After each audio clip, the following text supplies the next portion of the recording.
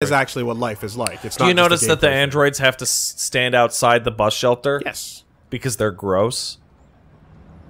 Yeah, pretty gross. Oh, look at that bus. That looks like one of the Nova buses from here. Yeah.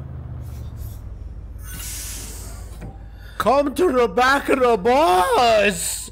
Come, go to, go to the back of the. Go to the back.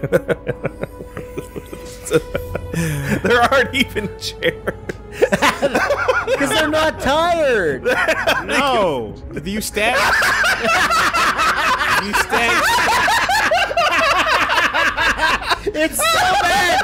It's so much worse than I thought. Oh, It's so.